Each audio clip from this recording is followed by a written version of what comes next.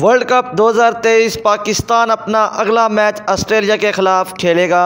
Pakistan team के दो अहम खिलाड़ी टीम से बाहर बाबर आज़म ने प्लेइंग एलेवन का ऐलान कर दिया। क्या है पाकिस्तान टीम की प्लेइंग एलेवन हम आपको बताएँगे इस वीडियो में।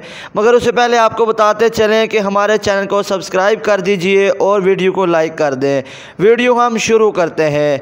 नंबर एक, पाकिस्तान टीम के ओपनर बल्लेबाज फ़खर जमान की टीम में वापसी हुई।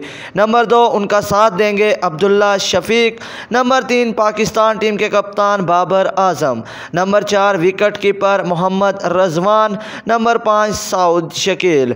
नंबर छः हार्डिटर बल्लेबाज इफ्तार अहमद। नंबर सात, उसामा मीर। नंबर आठ, शदाब खान। नंबर नौ, fast bowler Shahenshah Afridi. Number दस, हसन अली। और नंबर ग्यारह, हारस राउफ ये है दोस्तों, पाकिस्तान टीम का स्काड वर्ल्ड कप 2023 का पाकिस्तान, चौथा मुकाबला ऑस्ट्रेलिया के ख़िलाफ़ खेलेगा। कौन जीतेगा ये मैच, पाकिस्तान या फिर ऑस्ट्रेलिया? कमेंट्स में अपनी राय ज़रूर दीजिए। तो मिलते हैं नेक्स्ट वीडियो में।